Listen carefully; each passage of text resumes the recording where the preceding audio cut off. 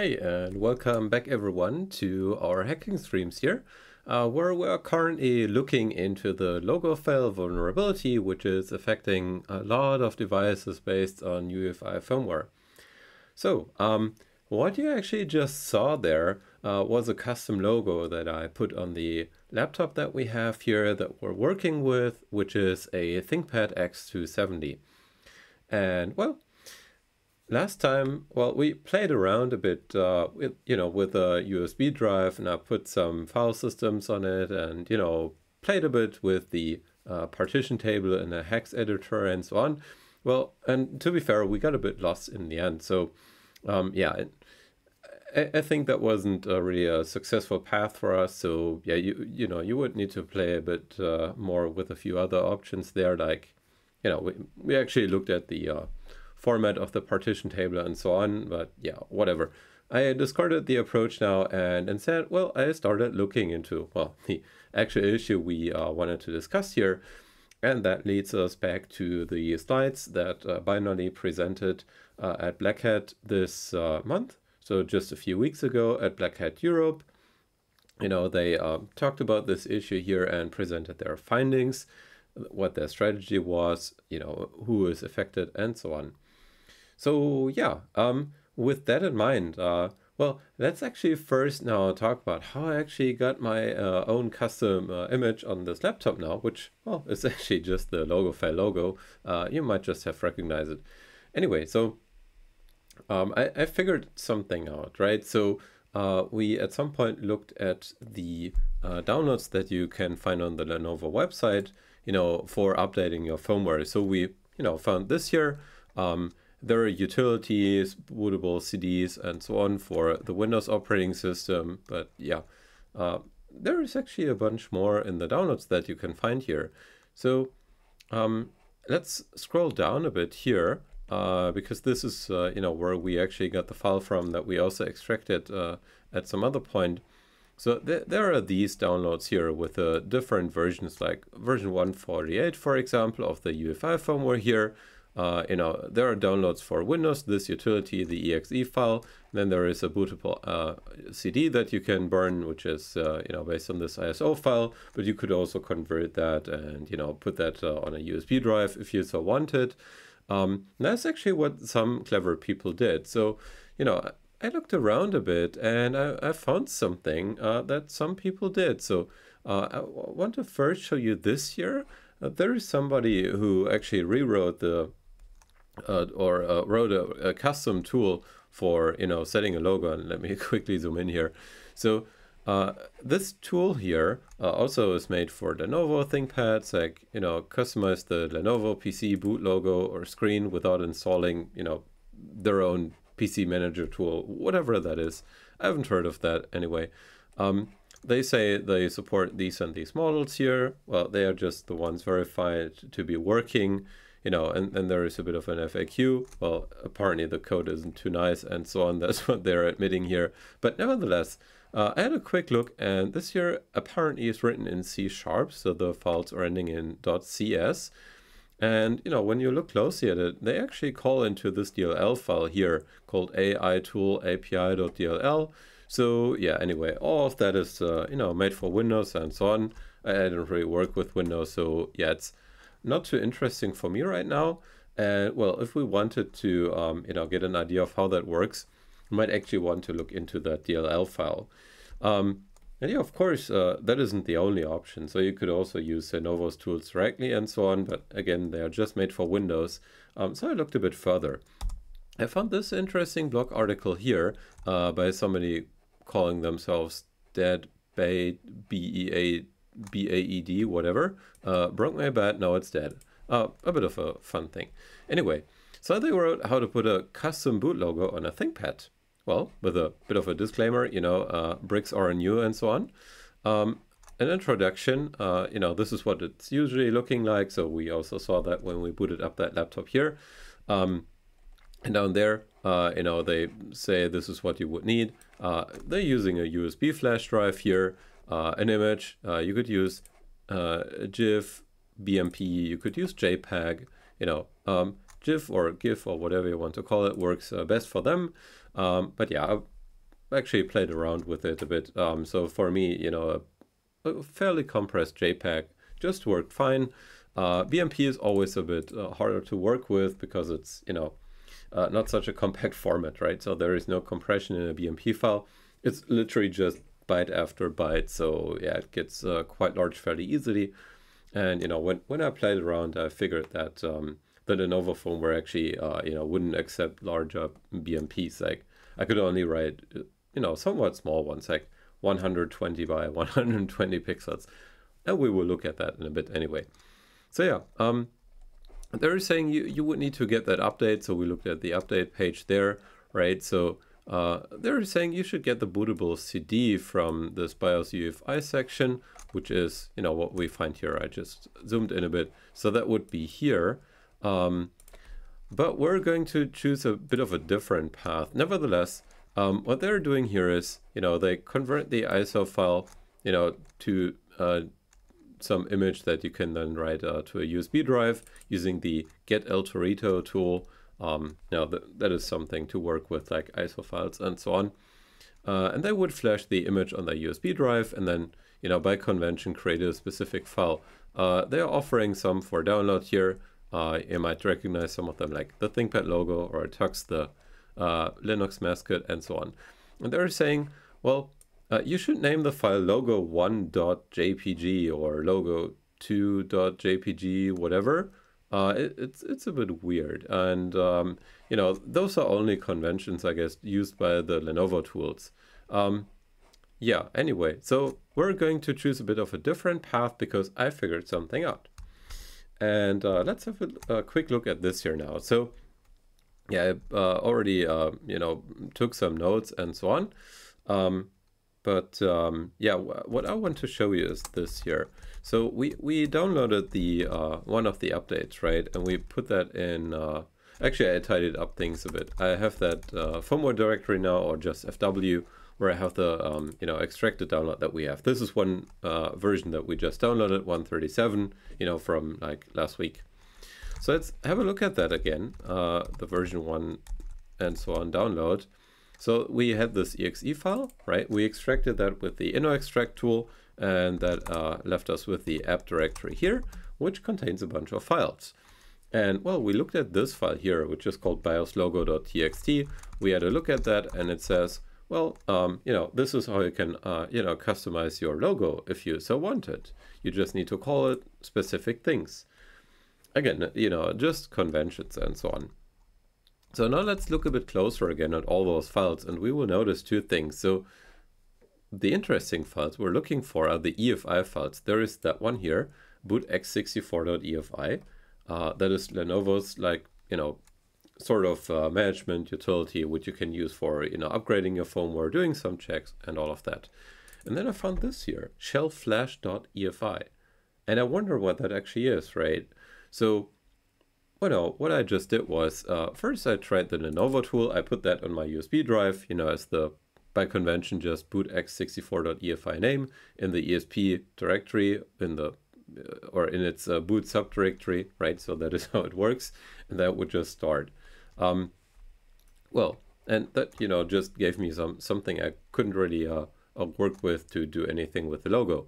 So I tried this here. I also put that as my bootx64.efi file.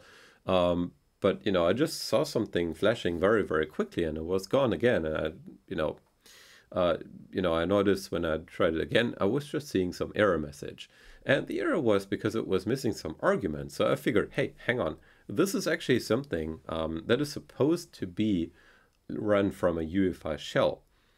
So uh, I went and downloaded a UEFI shell and we will look at the process of creating a USB drive now, uh, you know, which has the UEFI shell and so on. And with that, uh, we have another website to look at, uh, which is this here at uh, wiki.osdev.org. Also a very nice resource if you do operating systems development. Definitely check that out. And they document how the EFI system partition works. And well, I just scrolled down to the important section here, uh, which is this here. The important files on the ESP, the EFI system partition. Um, First of all, there there is this here, which looks a bit like you know you might know this from like DOS or Windows, uh, where you know you would you would have your drives and then you would have usually on on Windows or uh, DOS you would have a single character, then a colon, backslash, and so on. So you would have that like you know back in the days when we had floppy disks, you would have a colon backslash, and that would be you know like the root directory, if you will, of your floppy. Uh, that would be for uh, disks, you would have like C colon backslash and so on. Well, and if you had a second floppy drive, you would have like B colon backslash, you know, stuff like that. So that is a bit similar here. Um, you know, that is also something I actually had to learn again for working with the EFI shell. And so they have these files here. So this here is the one that we already, uh, you know, used now. So that is what I also used for uh, getting us to boot a Linux kernel. So you can just build a Linux kernel with the EFI stub option and, you know, put it at that point in this directory that will just, you know, start up. Um, yeah, this is not important for us. So this is for the 32-bit uh, systems, but yeah, we're on a 64-bit one. Um, then there is this one here. You can apparently add another boot manager by just calling it bootmanager.efi and not put it in a subdirectory. And you can also have a custom startup script. You just call it startup.nsh. I don't know what the N is for. I guess sh is like for, you know, shell and they're even writing it's it's similar to a, an MS DOS batch file. So you know, back in the days in uh, in DOS, there was this autoexec.bat, which was like a startup script essentially. Anyway, so all of this here um, is uh, very helpful for us because now we can play around with that, right? So we can create USB drives, and it's it's really not that hard. We just need to put some files in the right locations. And yeah, so as I, was saying, I already did that, but now the question is, where did I get the UEFI shell from? So let me uh, just reveal the secret. I just did a Google search, right? So um, I, I, found this here, and uh, these here are my notes. Uh, there is a project on GitHub uh, by P. Batard, and that is just called UEFI shell. And what they're doing is they're just making regular builds of an EFI shell, and then you know they prepare, uh, prepare these um, ISO files here. So there are two variants, the debug and release version. And, you know, in both cases, you get a very, very small ISO file. So you see this here, you know, it's a mere five point something megabytes. So what I did was I downloaded the release file. And because I only wanted the shell, I didn't want the ISO, I extracted it, right? So uh, I, I used the ISO info tool. You can uh, do that for extraction. Uh, you know, you just say dash i, give it the input file. So that was the release ISO. Then dash x for extraction.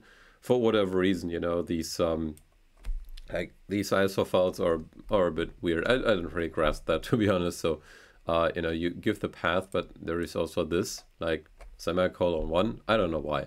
Anyway, so yeah, I could just redirect that uh, to a file. So I just call it bootx64.efi. You know, put it on the ESP as usual. Like that's sort of what we did with the Linux kernel.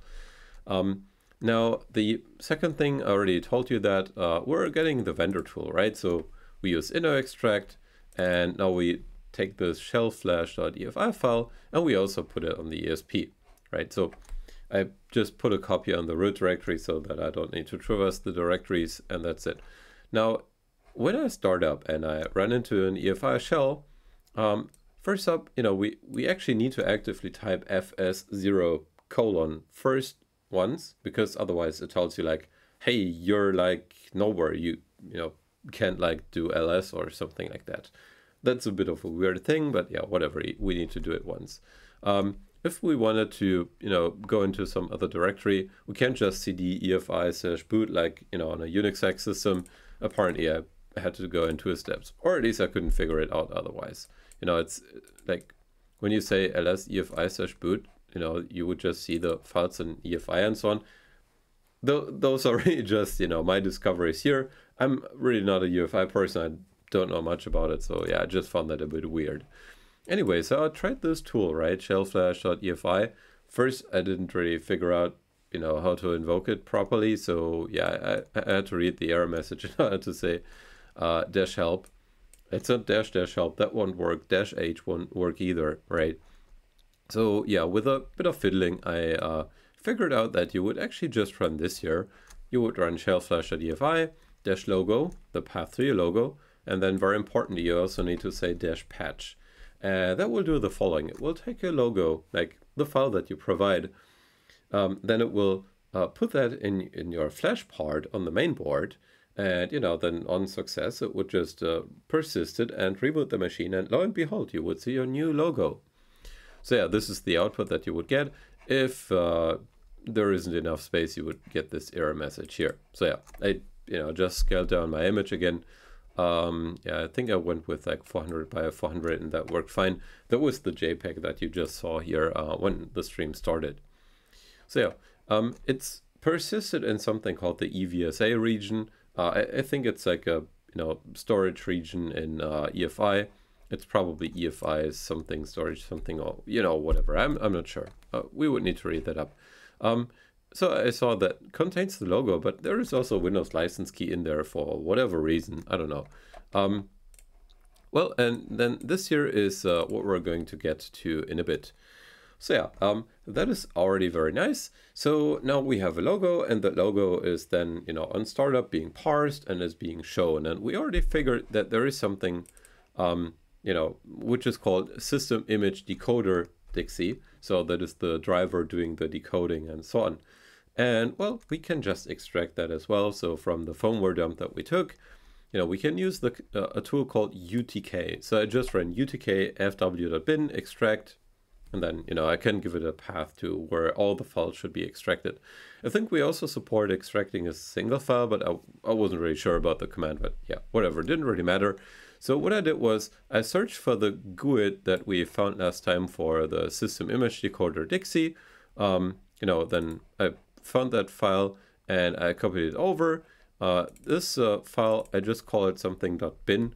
So what I noticed was the first four bytes are actually something like, I don't know, it could be like a size or a checksum or, you know, whatever.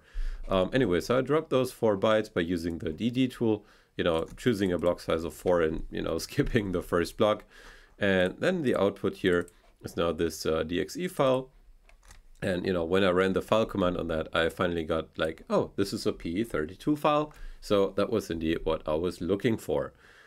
So now how do we get to understand how that image parser works?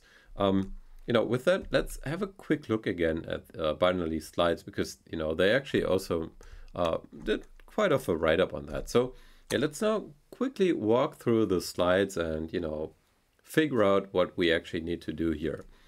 So, you know, they wrote a bit about the team. This is Fabio, I think, uh, the one who, uh, you know, did a bunch of that research, uh, maybe the main one. I, I don't know. I haven't really seen the talk, so yeah, I don't know what they said here. Uh, this is the rest of the team, right? And so, yeah, they also have some references. Like, you know, if you want to look at the, uh, they, they did a, a, a small video uh, where, you know, they're a bit reflecting on the issue. Um, this is the blog post, so that is also what we uh, looked at briefly last time. I also have it open here. Uh, we might have a look again later. And then uh, they talk about the like attack vectors and so on. So we already looked at that a bit. Um, Alex Matrosov has talked about this before, right? Like this stuff here. Um, well, they also say, well, a bunch of vendors actually have firmware image parsers, so you know um, that is actually a dangerous thing, maybe. Uh, why, why is that even necessary? I mean, it's it's actually quite nice, right? So I personally find that very okay and acceptable. Um, the issue is just that uh, you know you can provide your own images and attackers can as well. So that gets a bit dangerous here now. So yeah, um, the issue isn't really new. Uh, you know, we also briefly talked about that. This is from 15 years ago. Uh, Rafa Wojcik had already found that, uh, and Alexander Tereshkin. That was in uh, 2009, so yeah, 14 years ago. And uh, well, so now 15 years later, you know, we now have a bunch of different image parsers. They support different formats and they're running in the DXE phase of that UEFI boot process. We looked at that, right? So yeah, um, they, they found like essentially uh, a, a, bunch of software in the ecosystem being vulnerable, like the three major providers uh, that, you know, create firmware frameworks like AMI, Insight, and Phoenix, and then the EDK2 uh, reference code, you know, which is actually also consumed by them. So essentially, um, what this is telling us, so first up, uh, this affects like, you know, virtually tons of platforms. Um, but it's also fairly portable because those frameworks are also used on other architectures than x86, namely ARM as uh, in their example. You know, and it might be used in other places as well at some point. We'll have to see. So yeah, um, they had an embargo. Uh, that one here was uh, more than 150 days uh, for whatever reason. And that was lifted when they gave the presentation. So, you know, that was uh, coordinated. Um, yeah, they were talking about the implications and, you know, no one is sure if this has actually ever been exploited. So, yeah, but, uh, you know, it's good to fix these issues, especially if they're, you know, that large scale. Um, so yeah, now let's talk about, about the attack surface again. So we want to look at the image parser and the image parser is, you know, uh, as, I, as I said, everybody has their own one. So Inside uh, has their own, um, AMI has their own, and uh, what we are working with is that one here by Phoenix, right? System Image Decoder Dixie. So that is the one I already extracted. Uh, the core reference code, you know, has this file here, and I, I guess that was also just uh, fixed to you know, mitigate the issue. So yeah, if you use an auto release of OVMF, the Open Virtual Machine firmware image, you might actually be able to exploit that issue still, um, you know, with an auto release, uh, or, you know, maybe you just build your own at some point. Uh, you can actually go back some commits, right? So you you can play around with that as well. Anyway, uh, but, you know, we got an actual laptop for it. So yeah, let's see. Um, they're looking at the uh, code now. So now the question is, how do we actually get the code to, you know, a binary that we just extracted? So what they did was they created a tool and, you know, they've actually been using it for a, a bunch of years now. I think it's like two or more years old now. It's called EFI Explorer, which is an extension for uh, the IDA Pro disassembler. And, you know, uh, what, what you can do with it is you get a bunch of these um, like annotations and some names and so on. Like in UEFI or in, in EFI, you have like these protocols, you have certain conventions and so on. So, you know, this is uh, what they geared their tool around. Um, so yeah, this is uh, reverse engineering now. I personally don't use IDA Pro. I've never really uh, tried it to be honest. Uh, but yeah, I did something uh, with another tool, uh, which has been released by NSA some years back. Uh, you might uh, know it already. It's called Ghidra.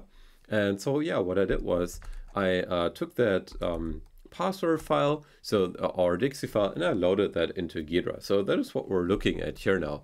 So let's uh, have a quick look at that. Um, so first of all, let, let's scroll up here and, and see how this works, right? So what you see up here is essentially, um, you know, the header to the file. So yeah, this is literally where it starts. So there are some things like this here, X data, for example, you know, that there is some data in it. Um, then there is like uh, this section here. Uh, this is the module entry point, and then it continues. So there is some reference to something called system table in uh, UEFI. They also abbreviate it usually with GST. I think G is for global, and then the uppercase S and T is for a system table, um, and so on. Anyway, so yeah, I you know looked at that a bit, and uh, I used uh, well an extension also for Ghidra to you know make a bit more sense of everything. Um, so that is also how I got uh, a bunch of these uh, references. So let me quickly show that to you as well.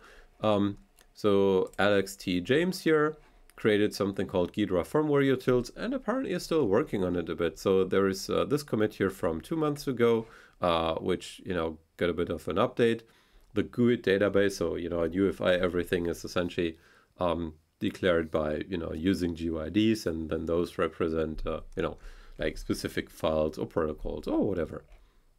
So yeah, this here is um, some some extension. You can also build that from source, or you can just you know download a release version from here. That is what I did. Then I just had to figure out how to actually install that. So I looked at the uh, Ghidra website itself, ghidra-sre.org. I think that is for like software reverse engineering or something. And, you know, I scroll to the extension section where, you know, they explain how to install it.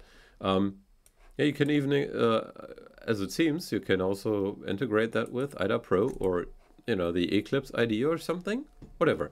So yeah, what I did was, um, you know, I just installed the extension, uh, yeah, using the Ghidra thing here.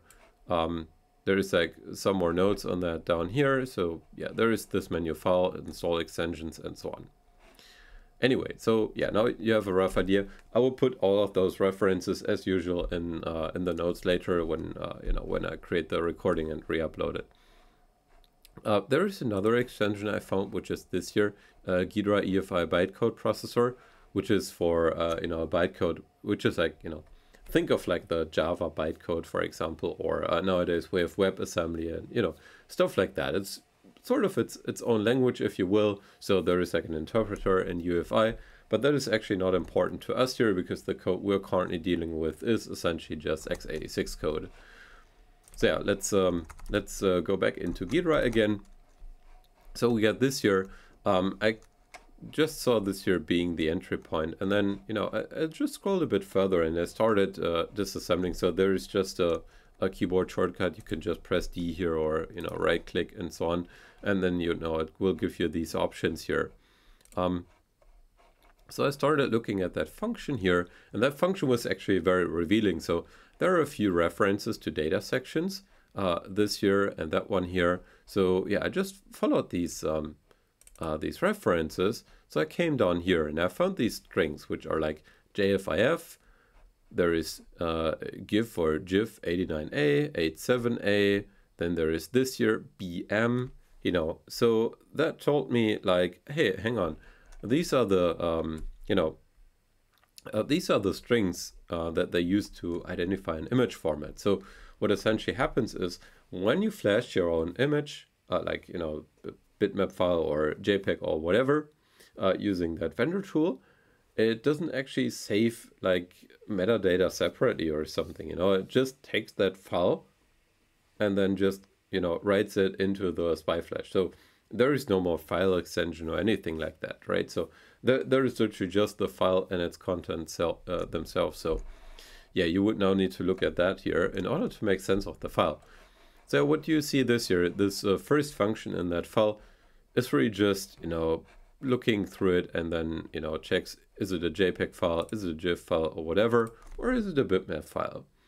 And now the question is, uh, what, what kind of file should we actually use, right? So, uh, you know, I looked a bit at JPEG, I looked a bit at GIF, uh, well, just for a brief second, uh, then I fell through and looked at this here. Uh, well, and a friend of mine here actually from the hackerspace then said, hey, what are you actually really, uh, you know, playing with? What, what are you trying and so on? because I hadn't really read up on everything yet. So I had another look at those slides here. So um, you know, they're, they're writing about the attack surface, yada yada. Uh, they wrote about their fuzzing attempts and so on, like, you know, how they really started to um, see if there are actually issues in those parsers, you know, like which branches would you need to take and so on. Um, well, apparently because they are just uh, PE files, you know, like Windows executables, essentially, uh, it wasn't too hard for them to create, you know, an environment where they could fuzz those binaries. Um, yeah, they wrote a bit about that, finding lots of issues and so on. And now this table here is the interesting one. And now we need to remember, hey, what vendor was our firmware created by? So there are those three candidates inside AMI and Phoenix. So our firmware is actually made by Phoenix and they found, um, well, two memory corruption issues, one in the BMP parser and one in the GIF parser. The BMP one could apparently trigger a heap-based buffer overflow. So, you know, that means you, you could just write into memory locations where you're not supposed to write into. And, you know, with some constraints maybe and so on. Um, or, uh, you know, this one here, you, you could read outside of, you know, the memory that you would actually only be able to look at. So yeah, those are very uh, strong vulnerabilities. Uh, this here is actually the, you know, worst one when you get a buffer overflow, you're very close to code execution. So yeah, they um, wrote a bit more about that, and they said, hey, by uh, choosing, you know, a specific pixel height or pixel width, um, you know, you might actually be able to trigger something. So yeah, let's actually have a look at the uh, bitmap parser here, right? So uh, that is here in the function list. So, you know, I did some annotations here. So yeah, that wasn't uh, provided by Ghidra itself. You know, I just looked at everything. So when I saw which file type here is uh, recognized how and so on, I called the functions, uh, you know, accordingly. So yeah, when it's uh when it's doing this match here, like you know some some variable. This is like you know they're like uh going through the bytes, and then at some point they're saying, hey, if you know you get a match with the uh, BM thing here, like a B and an M, um, then you know uh, it would actually be uh, this here like image type three, right? So when we get image type three, um, that would mean uh, we parse a GIF. Oh no, I, oh no, I looked at something wrong. Sorry, uh, in in this branch here. So we're here, and then it would set it to one. Sorry. So image type is uh, what I called that variable. Uh, now it's set to 1, and 1 means it's a bitmap, so it's going to call the parse bitmap function. Now we look at the bitmap parser a bit. Uh, you see this function here is also, you know, still quite comprehensible, but also, you know, still a bit of a mouthful. Uh, there are other functions being called here.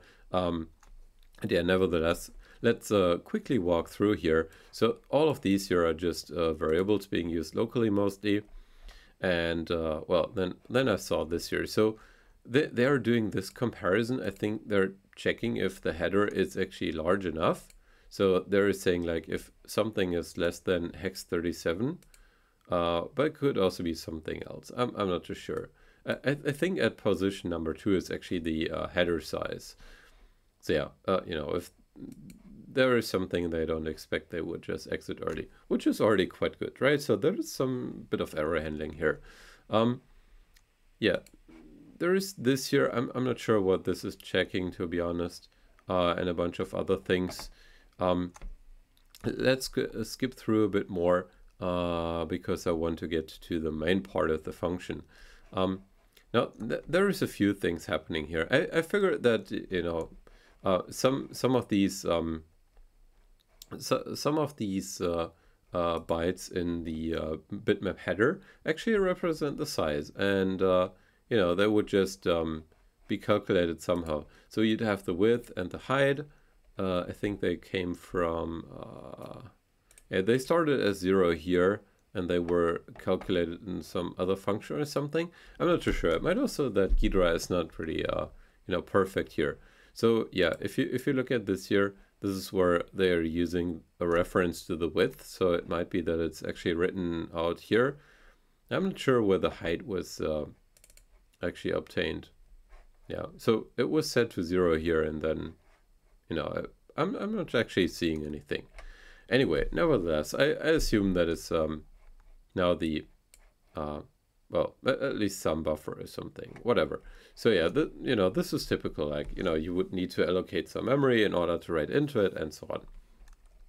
Anyway, so yeah, looking a bit further, uh, th there is this interesting part here, you know, where uh, they're actually looking at the uh, bits per pixel. So there is also a value in the uh, bitmap image header, you know, where uh, they would say this is like a monochrome image, for example, which is just one bit per pixel, right? It can either be set or not set. So it would be like, depending on what color you render, like if you do black and white image, you know, those would be the black pixels usually, and then otherwise they would just be white or vice versa.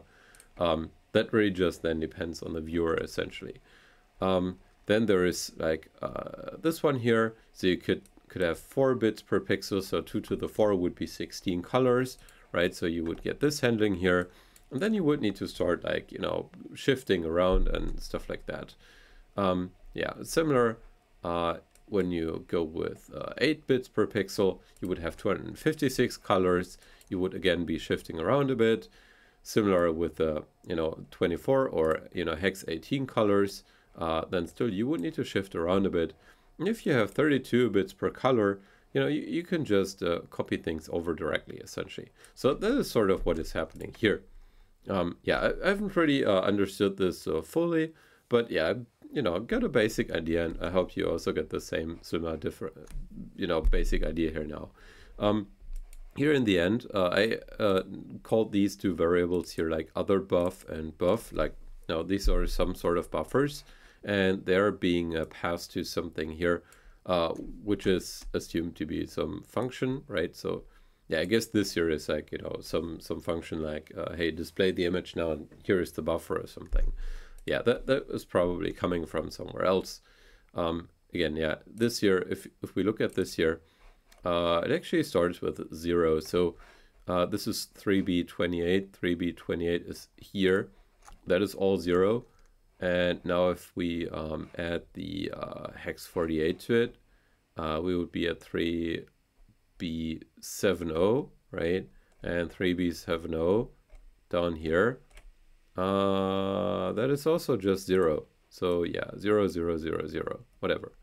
Um, yeah, I put this here malloc question mark because I think this is uh, where the malloc, uh, like the memory allocation function would be registered.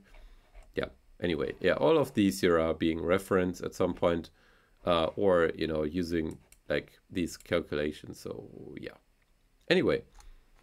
So now we have a bit of an idea how this here works. So now the thing is, um, what, what happens when we play with the image dimensions here? So we choose a different width and height than, you know, the actual width and height. So uh, what I did was I uh, took the uh, logo fail uh, logo again, you know, I converted that and uh, let me quickly show that to you.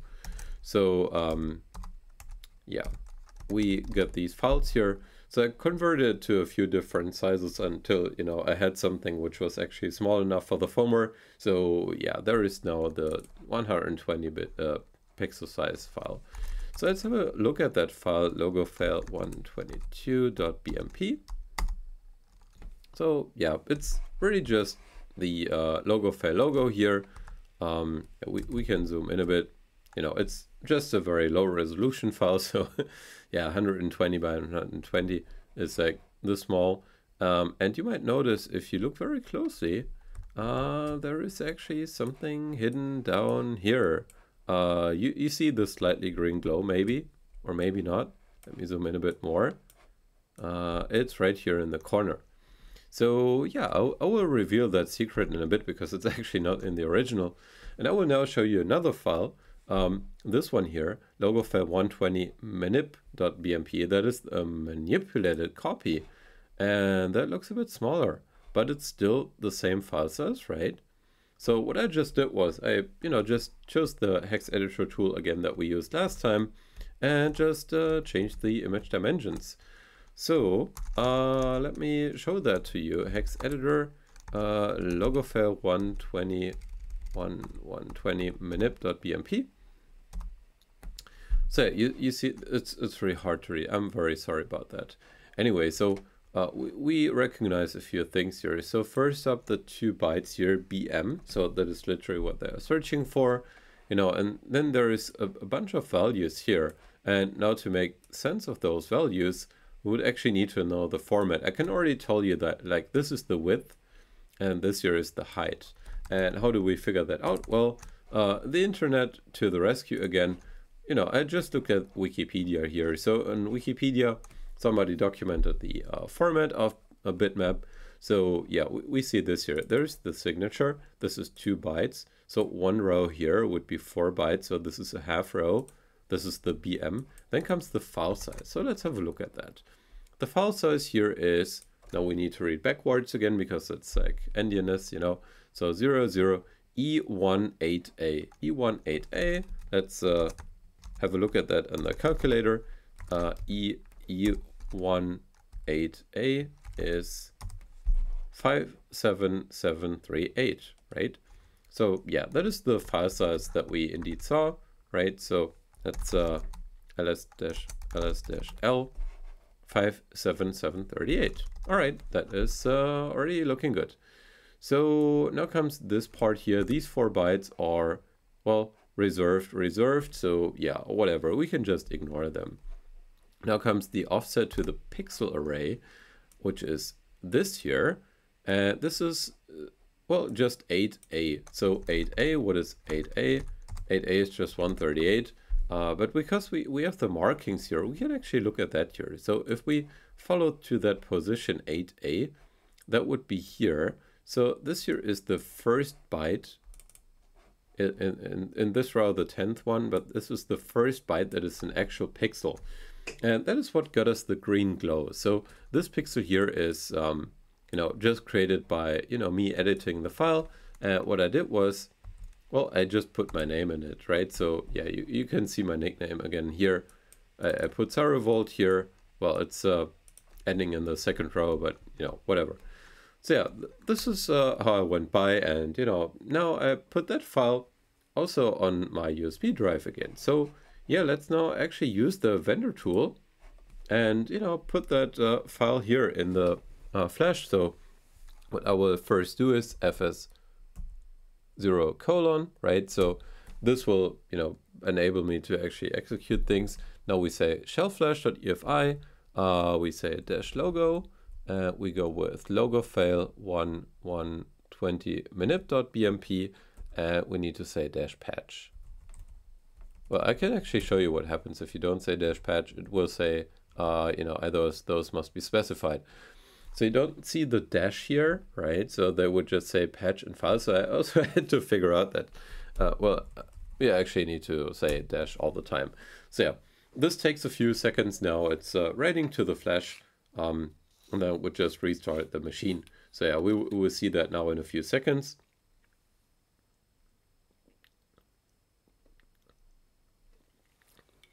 That's rebooting and we're seeing our new logo. And as you can see, there is actually not much, right? So it was really just a few pixels remaining. And now that is uh, depending on the uh, specifics of the image parser, you know, what that looks like. Um, you also get this message here where it says, you know, you can create the startup.nsh file. If you have one, then, you know, it would just be, uh, be automatically executed. So in other words, you could actually, um, you know, prepare a USB drive, uh, which has the vendor tool, you know, the EFI file, um, you, you could just boot from it. You can prepare a startup.nsh file and you know just have it automatically write your own logo onto uh, the Flash, which means you know you can also give that to other people. So you might be a bit uh, careful with uh, random USB drives that you get. Um, so what we now did was we actually wrote a broken bitmap file, right? So what does that mean?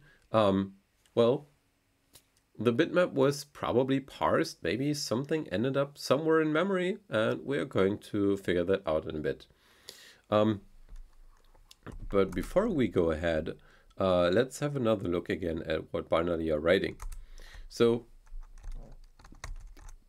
uh, in the slides here, um, you know, co continuing from this year, we, we just did that, right? So we just um, changed the image dimensions and so on. Um, they're saying they could actually trigger some overflows here and there. Uh, like here in this case, this is a JPEG parser where, uh, you know, they could trigger it.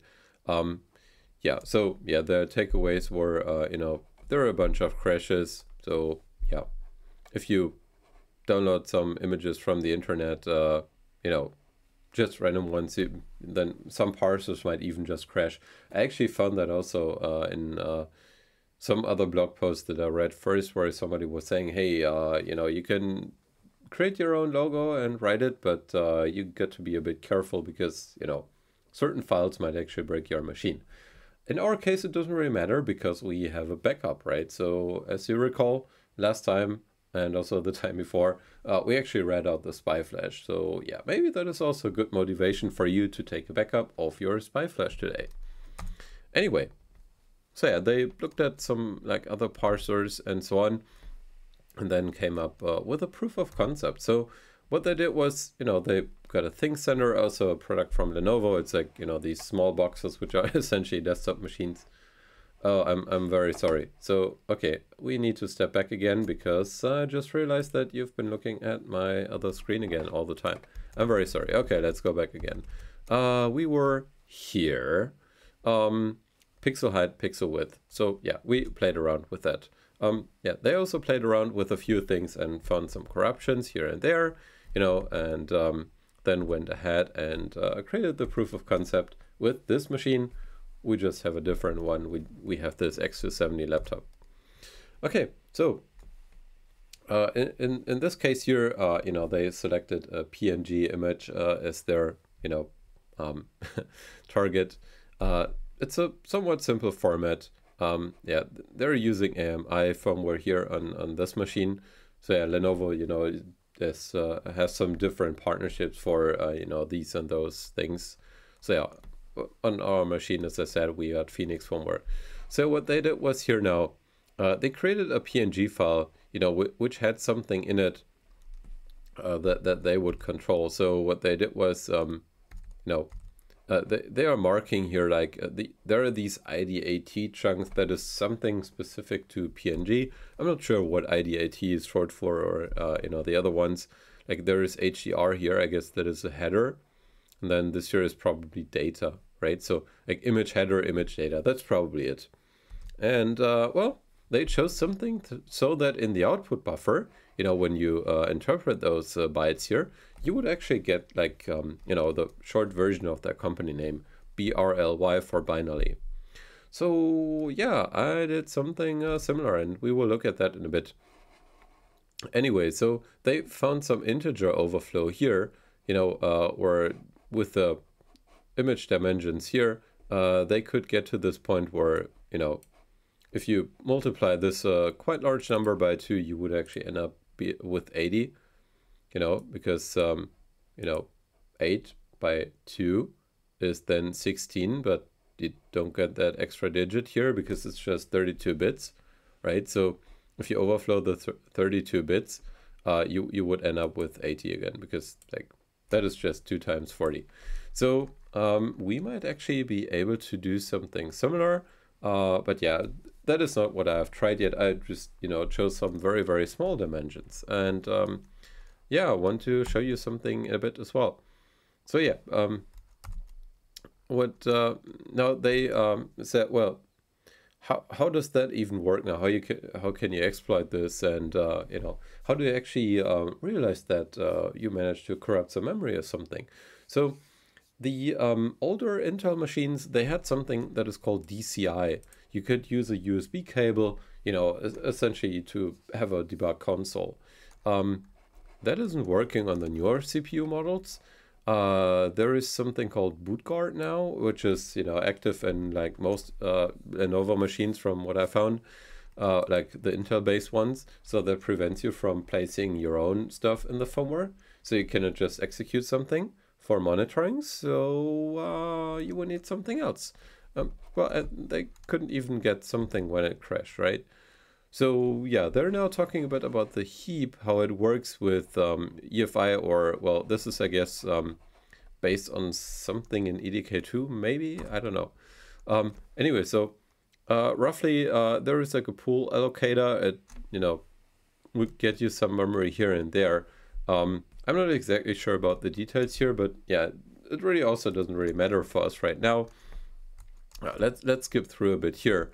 Um, they're looking at this here. Uh, what are we even corrupting, right? So you, you could have some output buffer at some point where you end up with something. And then, uh, you know, the question is, could you also write into other chunks and so on? Actually, it's, uh, it's, it's really hard to tell. So, but, but you might be lucky. So the memory that is allocated by the UEFI firmware might actually still exist when your operating system is running. Which means when we are in an operating system, we can scan through all the memory and we can see if we find something that is left from the firmware. So yeah, let's let's see if we can uh, you know if we can find the output buffer actually.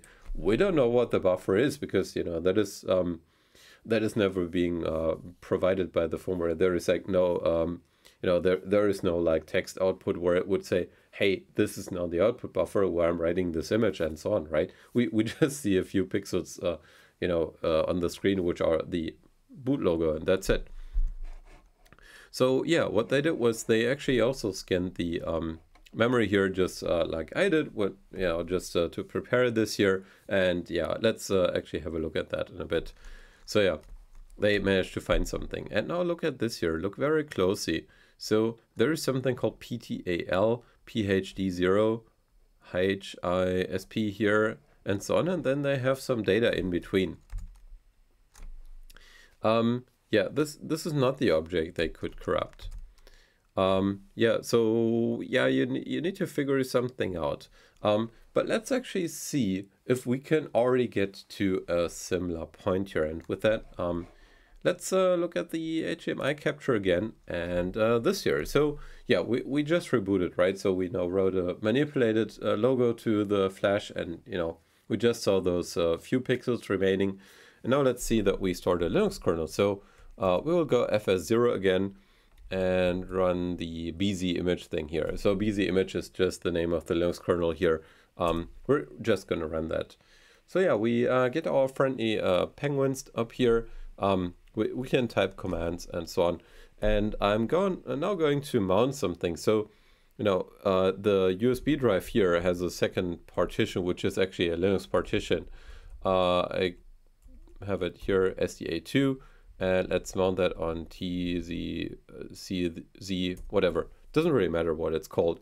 Um, I need to prepare a bit uh, more, so I have these files, uh, which are SO files, so these are like shared object files. Uh, they need to be in specific places. Um, so I will just copy them twice, once to lib64 and once to user lib. So these are the ones that I linked a tool against, which is now uh, capable of, you know, finding something in memory. So we're going to do the following. Um, you, you might know this device in, in Linux, which is the devmem device, right? So the devmem device gives you access to all the physical memory. You know, you could even do memory mapped IO through that. Technically, uh, it always depends a bit on the specific platform and so on. Uh, we're going to scan this memory for something, you know, that is a, a pattern that I wrote to the uh, image, um, like that I wrote in the image, so in the bitmap file. Um, let us maybe go back again to my other screen here and uh, let's actually look at the tool that I made and, you know, the image file again. So yeah, you know, I put my nickname in here. I, I put a bunch of other things like xxxxx, uh, a little message from our hackerspace here. And then, you know, when you scroll down, you know, I put some other xxx here. I said, finally is doing cool research, a smiley face, you know, stuff like that. Um, anyway, so yeah, let's exit that file um, and have a look at something that I created here, which I just called find me. So yeah, I just wrote a tool in Rust, which is, uh, you know, not doing much. So you can provide a few arguments. Uh, you can give it a file, an offset, a limit, and a step size. So the file will be the devmem file, right? So we're looking at the devmem file. And we're going to see if we can find something in it. We can give an offset, to start from. We can give a limit that is like actually the uh, maximum of uh, bytes to scan. And then the step size, which is like, you know, you can go in steps of like one byte at a time or two or four or 16 or whatever you want. We're going to uh, look for those things here. My nickname, again, uh, you know, just with a different endianness, uh, it might be that we might find this here. Um, I put Kabilak in here because that is something that I just found randomly uh, when I looked at memory by hand a bit. And the XXXXXX because, you know, that is also very easy to match on. I just, you know, put so put so many X's in there. That is uh, really uh, th something that we should find, like, you know, regardless of, uh, like, the step size. We could go with, like, I don't know, 16 bytes at a time. Anyway, so yeah, it's uh, it's literally doing uh, nothing more than just opening the file, seeking through the file and then seeing if uh, you know that there is some match here. And if, if so then you know it would just print something. We, we could that uh, write that in a bit more elegant way in rust but yeah whatever. It doesn't really matter. It's it's really just a, a tool for us right? So yeah um with that tool now uh, let's actually scan through memory but um, we are not just going to do that blindly. Instead we're going to use um, this little note down here so I figured that at this address here, like, you know, around uh, hex B and then seven zeros, right? Uh, around that uh, spot, you would actually find something uh, left over from the UEFI former. So let's uh, run that now on the actual device. So we're going to say uh, find me. sorry, T C Z find me, right?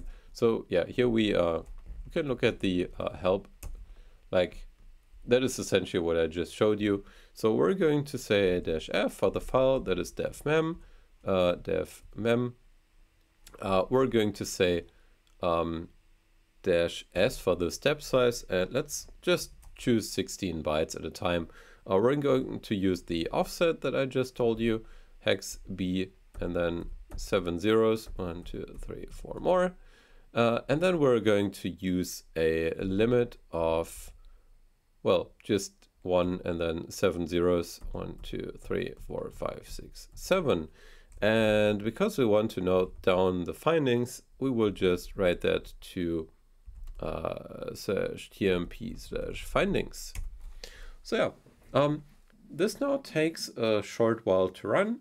Uh, it's not too long, but you know, at, at some point we should get some results. So yeah, it should find us something which is matching the XXXX or uh, or maybe not.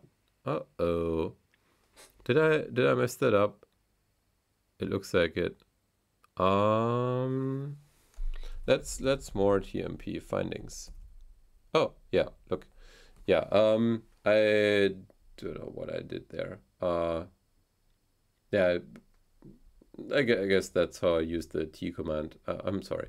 Anyway, um, yeah, let's let's scroll through this here. So we found a bunch of X's. Did we also find my nickname? I think I just saw it down there. Uh, yeah, let me just scroll through. Uh, we, we can grab for it, right? So we can grab for a C in uh, TMP findings. Uh, that is uh, that is not in there. But did we did we find something else? Did we find the Kaby Lake? Right. So we found the Kaby Lake thing in there. Um, we might want to choose some some other step size maybe maybe a step size of uh, let's say 8 um right right okay so yeah use the t command wrong so you just say t and then the file name and then you would still get something on standard out so yeah there is Kaby Lake there is a bunch of X's and uh, another cable Lake again wow interesting yeah, as you can see, it's actually finding a bunch of things. Oh, look, and there is my nickname. And do we get something else? Yeah, we might. Well, so you see there's lots of X's. Now the thing is I also found some false positives and the false positives are uh, you know, a, a bit of a mess. Now the question is, how do we actually look at that memory now? So we, we, we have those findings, but we actually want to look at the memory around it. So, you know, I, I will just uh, choose something simple. So I will use the dd command to, um, you know, now read from the devmem device. And we will just run it through hexdump and, you know, put it somewhere again in the temp directory, and then we can walk through it a bit. So um, yeah, but let me uh, let me grab for let me grab for my nickname again in the uh, findings, and let's see. That is around that address, B9FA75AF8. And let me let me just note that down um, in the notes. So yeah, um, you're not seeing that right now, but it doesn't really matter. I, I just want to note down the address so that we can remember it for, uh, you know, later. B9FA75F8. So yeah, I, will just write that this is where we found my nickname. Alrighty. Uh, and with that, uh, let us say dd. So we'll now say dd if the input file is slash dev slash mem. Uh, we will choose a block size, which is like fairly large. Uh, we will say 4096, so that is a 4K size. And um, you know, if if you know that uh, 4096 in decimal is actually hex 1000, so it is a very convenient thing. That means we can just omit the last three digits now from uh, you know the output that we saw here. So uh, we we can just say skip equals. Now we can go hex uh, B9FA7 right? Now we can give it a count. I will go with um, like, I don't know, 10. That would be enough, I think. And then, uh, you know, uh, I mean, one would even be enough, but yeah, whatever. Uh, we're going to write that to slash tmp slash xxx, maybe. And well, let's now do the following. So in, instead of seven, let's actually go with, um, let's, let's go with four. So, you know, we, we get something before and after it. Okay, so Uh, but um, I would like to do something. Uh, I would like to uh, go with a hex dump, right? So that we can actually look at the hex dump. And let's see at uh, TMP triple X. So let's now walk through that. And what we see is, well, there is actually quite a bunch of stuff in there. Um, maybe things we did not expect. I, I don't even know what is in there. But yeah, what, what do we find here? There is this stuff. Uh, let, let's look at the fourth row, for example. There is something called P-A-T, uh, P-T-A-L. Uh, and then there it, it says like or uh, alignment. Uh, I guess that could have been alignment at some point. Uh, there is something like reserved, P memory, you know, a, a, bunch of strings. So in, in the EFI world, um, there is like 16 bits per uh, per character, as it seems, right? So there is always a zero byte. Um, yeah, it, it says something about uh, a bridge, uh, memory, you know, all, all of that stuff here. So yeah, let's uh, scroll through a bit more. Uh, next page, next page, next page. Ooh, there is a bunch of x's, but those are lowercase x's. So that is not what we wrote. Um, we wrote uppercase x's. But again, there is a, a bunch of stuff. There is like, you know, half words and stuff like that. Um, there it says ThinkPad. Uh, do we actually get to the point where we see my name? Um, yeah, we, you know, we took a bit like before and after it. So yeah, we would need to scroll a bit more. Um, but you, you see, this is already similar to what we saw on the slide. Uh, and now let's, uh, I think we need to go to like 4,000 something in order to see my nickname now. Uh, let's scroll a bit more. Oh, look. There we have something already. So we see a bunch of X's and we see something that looks similar to my nickname. There's just CYR and then VOL. So uh, that is as if it were treated like, you know, just um, just like uh, for uh, like 24 bit value. So it's like you know part of it was discarded. So that might have been part of the image parser and you know copying things around actually. Um, so that is already very interesting, right? So let's scroll a bit further, and here we got the um, sort of the same thing, uh, but now it's uh, my full nickname again. So yeah, now we, uh, we, we see some leftovers from what the you know image parser and the firmware actually did there. Interesting stuff. Uh, again, uh, there see something um, up there again, right? So yeah, we actually managed to, you know, in, indeed have something left here. So now the question is, um, can we actually trigger something uh, that leads us to an exploit with this? So yeah, uh, let us look again at the uh, slides here. So, you know, uh, how, how did they proceed? So they wanted to write behind the output buffer, right? So this here.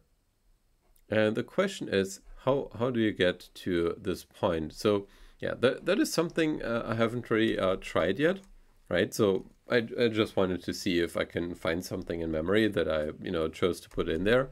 Um, but yeah, anyway, if, if we get to this point, then uh, indeed uh, we would have successfully corrupted something. Um, so yeah, let's let's see if uh, by crafting a, a, bit of a different image, uh, we, we can actually get to this point. So uh, let's uh, let's use our hex editor again, and let's hex editor our logo again. And instead of writing something very small and tiny, like, like we did here, let us write something large. So uh, that would be, hang on, um, those, those four bytes, right? So how about we, uh, I don't know, put an F here, or maybe here. That should already be uh, like big enough for us. So we put an F here and we put an F here, right? So if, if we do this, um, well, what, what happens if we try to open this now in the uh, Geeky image viewer? It might actually crash. Well, it actually said, well, this is, uh, we, we cannot display this, right? Okay, so that is very interesting. Um, just for verification, so if, if we revert this back, if we put a zero again here, And here, you know, uh, let, let's see what happens when we, um, oh, I, huh, I, I think this might actually, okay, let's, let's check the BMP header again because I'm getting a bit unsure here. Okay, so uh, we, we get this here, the header size. Header size was uh, this, this here. Okay, so those four bytes were indeed for uh, the image size. Okay, so let, let's let's do something a bit different. Let's put a one here, right? So yeah, something that doesn't exceed too much. Uh, and here, save it, and let's see if we can now open it again. Oh, look, now we get a stretched view of the image. Um, it's saying it's 264 by 264, but it actually doesn't really look like it. You know, this is like, uh, th there is apparently something missing here. So yeah, that is because uh, we chose those values. So this here would be um, 0108. Uh, we can look at that in the hex editor. So 108 would be indeed 264, right? So yeah, but we're uh, actually lying here. So yeah, let's uh, let's go with a slightly larger number. Let's say I don't know, uh, 608. 608 sounds very interesting. Uh, and same here. No, 6, 608. So yeah, hex 608, that would be 1544. So we would have like more than a megapixel. That might actually already be a, a bit much because that would be like more than a megabyte or something. Um, but anyway, uh, let us let us actually try that. So what I will now do is I will shut down the machine again. Uh, you're not seeing that right now, but yeah, whatever. I'm just saying power off. Um, so I'm getting back the USB drive here. Now we will uh, mount the USB drive and uh, put the newly edited image on it. So we will we will mount that uh, SDA one that's it. And uh, then we copy the logo fail 120 manip BMP file to MNT and umount and sudo umount. Uh, there we go. All right, wait a few seconds and unplug the USB drive. Alrighty, so uh, back again. Let us see what happens now. Uh, let's turn on the machine again. And let us, you know, flash the newly created uh, image file there. Uh, we say fs0, we say shell flash, we say dash logo, logo fail, one, one, I could actually delete a bunch of these, uh, you know, all the files that I played with. So you could see, you know, I also had like 160 pixels, 150 pixels, uh, you know, but they were actually too large, so I couldn't really them. So yeah, uh, let's see. We might actually just uh, break the machine for now. Um, if that happens, you know, we just uh, re restore it from the backup that we had.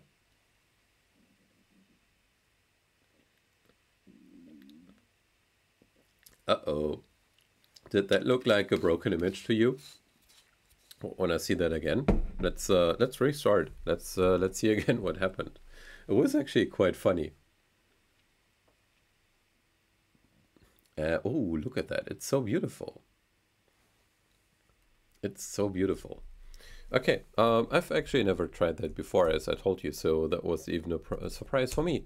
So we're looking at BZ image now again, and we are going to uh, do the same thing as before. We're going to mount the second partition to slash tcz. Uh, we're going to copy the tcz. Uh, it should actually uh, pro provide a better USB drive or something. Uh, work on that a bit.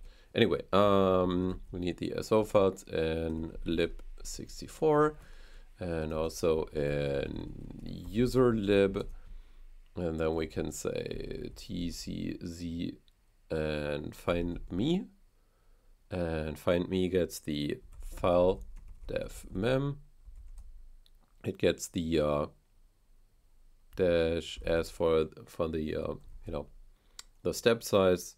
And then we get the offset which is hex b o o o one two three four. And then the uh, limit that is hex one one two three four five six seven. All right uh, let's see what we get. Oh let's actually uh do the same thing as before and uh you know um t that to slash tmp slash find findings like this.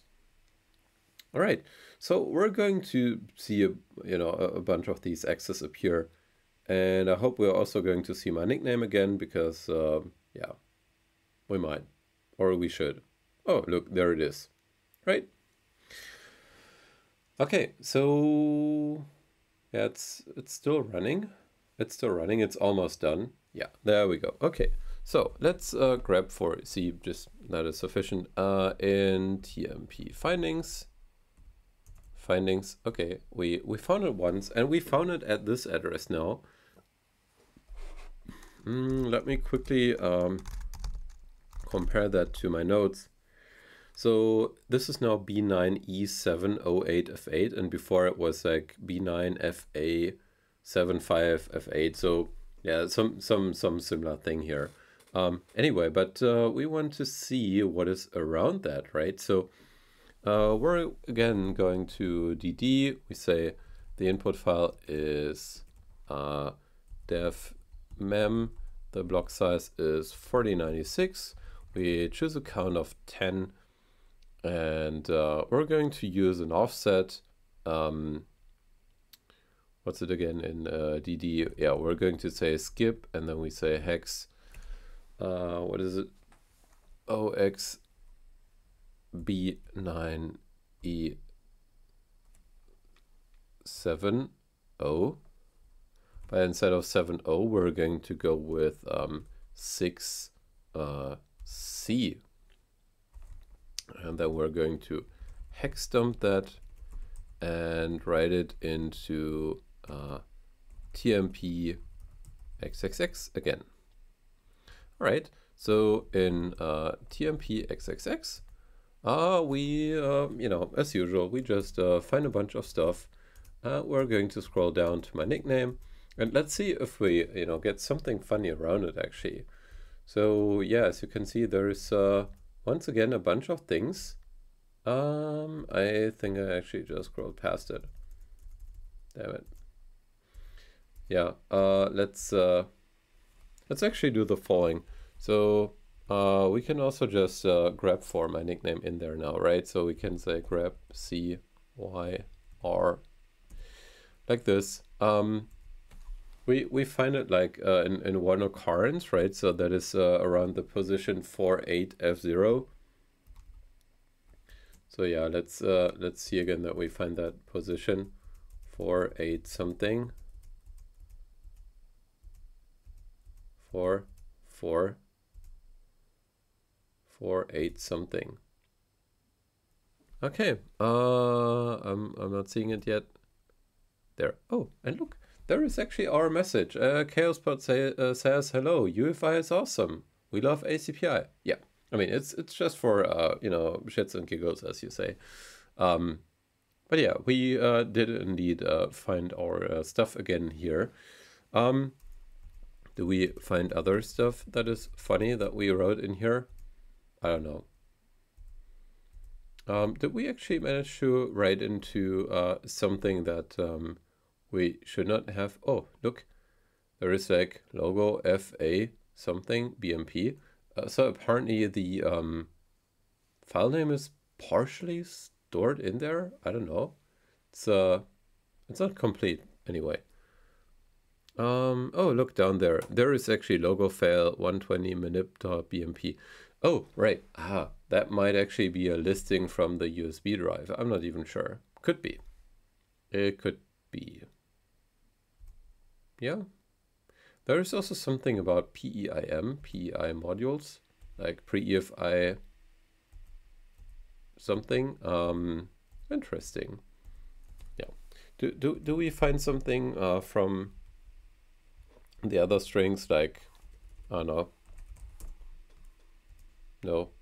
We, we didn't find the statement by, uh, like, the binary statement we wrote. That is very sad. But, well, we, we managed to find the chaosbot reference. Um, in, in part, at least. Yeah, grep is not the best tool here, um, but yeah, whatever. Um, yeah, that's it. Okay, so with that, uh, let's try the following. So I would like to uh, reboot. I would like to see if we manage to corrupt something that would then appear, uh, you know, in the firmware menu. So let's see what happens when we press F1 to enter the menu. So it says entering the setup. Uh, do, do we see funny stuff in here? Well, we don't. It actually looks quite okay, right? So it looks like just as usual. So not nothing special in here. Um, yeah, but um, we we did manage to um, you know get get some junk into the uh, splash screen already. Okay, let's just just for the fun of it have a look at it again. Um, it's it's somewhat hilarious because it looks like there is. Uh, I I really don't know what happened there actually, to be honest. Um, but yeah, we uh, did manage to write a large buffer. So, okay, let's do the following. Um, if we uh, if we, if we try the same trick that binary did, what happens? So should we should we just use the same image dimensions like uh, 2 by, you know, whatever that large value was. So let's see. Uh, we will go with, um, was it 8, right? 8 something, something, something, 40. 4, 0, 0. So that would be this year. And then here we would just go with um, 2, right? So in a 32-bit world, that would be an overflow. And, uh, well, if we look at Ghidra, is that actually a 32-bit value that is being used here for uh, the image dimensions? Because from what I saw, I thought it was actually... Uh, right, so it's it's uint for the height. So from, from I think that might be the height. Uh, there was a long long for the width. Um, another long long for some offset uh, do we have the width? Yeah, there. Undefined 8. So yeah, I don't even know the data type here. Um, but uh, you know what we can do? We can find occurrences of width here, right? So this here, like uh, this function is doing something with it. Um, it, it's really hard to tell what is exactly is happening here. Um, oh, well, so yeah, I, I, put the width underscore L here because that would be like the lower bits, right? So if you end with a mask, then you would only keep the uh, one bits, well, the bits like behind this here. So everything higher would be discarded. Um, do we find something else where width is used uh, here? Where I'm, uh, I'm sure this is like, um, you know, it, it could happen that this year already uh, triggered some uh, overflow in here before it's being cast to a long long. Could be. We, we will figure that out. So anyway, um, let's let's let's just try that. Let's uh, write this here to the uh, BMP file.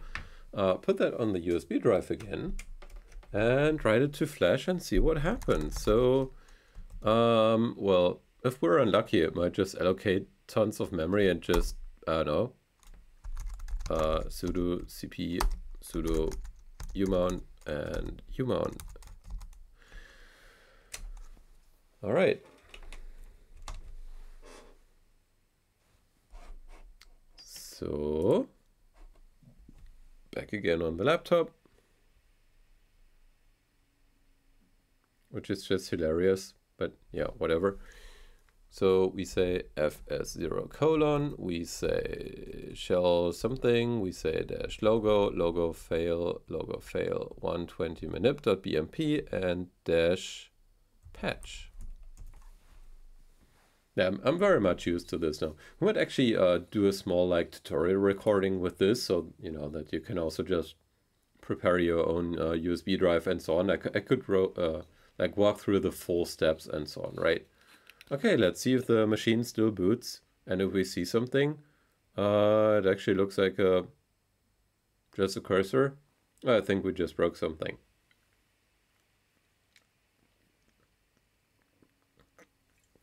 Yep, that looks like a whoopsie. We just broke something. So yeah, this is uh, where uh, we would need to restore it from our backups. That is why we took the backups. Let me just um, unplug the USB drive and, uh, you know, just uh, reboot again. Let's just see what happens when I force shut down it and so on. I'm just uh, pressing the power button here for a few seconds. I guess it's like 10 seconds and then would we force power off. Right, now it's off again and let's uh, boot again. No signal detected yet. Okay, there is the signal. And uh, we just uh, see a cursor that isn't blinking. Awesome. So we, you know, just uh, managed to break something here. Um, now maybe we already triggered some overflow or something. Uh, it's a bit hard to tell right now because we, we can't really check on it again. So yeah, uh, I, I, guess we should uh, write something else to the flash part again.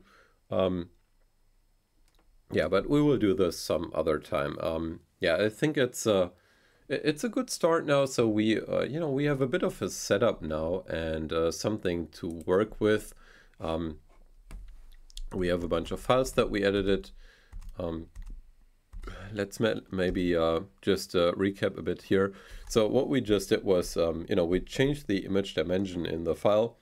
So uh, yeah, here we're uh, claiming that this um, image here would actually be uh, quite large while it's actually not, right? So this here is like 80004000. Oh, that is actually um, not exactly what I wanted here, but yeah, it doesn't really matter. It's it's still quite a large file. So what I wanted is this here. That would be the same thing that binary did. Um, but yeah, it doesn't really matter, right? Um, yeah, we, we, we can go with that, but yeah, I, I don't think that would work now. Um, anyway, I need, I need to recover back uh, first. So yeah, we um, we are now quite far in uh, what uh, Binary was writing. Um, let, let's see if uh, you know we can find something interesting after this part here. You know that gives us another hint. Uh, this is their recap. So yeah, what they did was like, you know, they triggered some overflow. They, um, you know, apparently uh, managed to flash something that would then still be uh, visible in the operating system and, you know, would actually still be able to boot and so on. So yeah, there is still this uh, step left of getting code execution out of that. And um, well, they, they're saying, well, it's actually not too easy. So uh, for heap exploitation, uh, you would need some very strong primitives. Um, can can you in, influence the heap directly? Something you you would need to you know do some clever crafting with a in, in this case PNG chunks. In our case, that would be like the bitmap parts. Um, yeah, what what they want to do is they want to find something which is this here PRTE protocol entry. And this is uh, where you can indeed gain code execution. So in UEFI, you have these protocols, and you know that's like a communication mechanism. Protocols are being called, and so on. So they want to write into a section where they can be certain that would actually be called by other code again, right? So we use the image parser. The image parser is writing something to memory. Then more code is being executed, and that calls into something that is now being left here by the image parser uh, yeah, that, that is essentially how it would work. Um, yeah, these um, protocols, yeah, uh, they're also writing that they are a core concept in UEFI. Protocol entry has multiple pointers to objects with function pointers. right? So you, you see where this is going. Um, there is like this uh, event system in UEFI where you know you, you have these like protocol notify things, I event, and then like callback handlers. Yeah, I'm, I'm, I'm not sure about those details there. I haven't really looked into that too much uh, yet, to be honest. Um, but yeah, th this is also uh, the path that we should try to go. Well, what uh, what they then did was um, because you know uh, the memory uh, that that is written here is actually uh, mostly executable, and you know, like most firmware they found, often there is a fixed address. So what what we just saw was like um, I, am not sure if we actually get fixed addresses. We, we might need to reboot a few times and see if we always get the same stuff at the same position in memory. I, I don't think so from, you know, my early experiments, but, you know, we, we need to see. Um, so what they did was, you know, they stored some shell code there, like UEFI shell code, you know, essentially just like the stuff that we just typed previously. But, you know, they would do something else like, you know, you, you could like disable the secure boot stuff by, you know, running some uh, commands like you know you, can actually uh, change the memory from a UEFI shell and so on. Um, like there there is like uh, you know some primitives in uh, UEFI that you can use. Um, you can use another payload like you know if you do like uh, from a browser you would attack something like do a drive-by download you put something in the EFI system partition you put something in the firmware itself you know and then um, you would from the firmware call into something on your EFI system partition you know to like have a larger binary that you know can then do very very rich stuff like you know um I don't know create some other files maybe that would uh, then manipulate the operating system uh, or you know if you have um, like I don't know if, if you want to gather some data you could just be running some uh, some daemon in the background or uh, system service or whatever you want to call it and then you know just um, uh, send the data to somewhere on you know some uh, web server or something you know th- there is a lot of creativity. Or you can go like ways like you know um, uh, I don't I don't know you can uh, like you know there is like um, these um, tools now which uh, you know would just uh, lock your machine forever and unless you pay a ransom or you know stuff like that. Um, that is up to uh, an, an, attacker's creativity. So we just want to prevent that from happening, right? So that's why we do this uh, research. We verify these findings so that we can actually prevent those issues. Um, anyway, yeah. Um, we will not be able to cover uh, more of this this year now because, um, you know, uh, next week I uh, will be at the Chaos Communication Congress and uh, we will actually uh, have an assembly there with the uh, open source uh, firmware assembly. Um, let's uh, let's quickly look at the. Uh, do we have that here? Right. Um, so if you if you want to find me, if you by coincidence actually saw this recording here or the stream, I'm I'm not sure. you can come by here. Um, I'm not sure yet where we will be found. I guess we will figure that out here. Um, yeah, Zaolin, a, a, friend of mine, um, is our main contact here, but you can also find me at the assembly. There are no projects or e other events that we have submitted yet. Um, yeah, but we, you know, we might give some uh, sessions. Maybe I will run a bit of a like, um, you know, firmware exploitation workshop or something like that.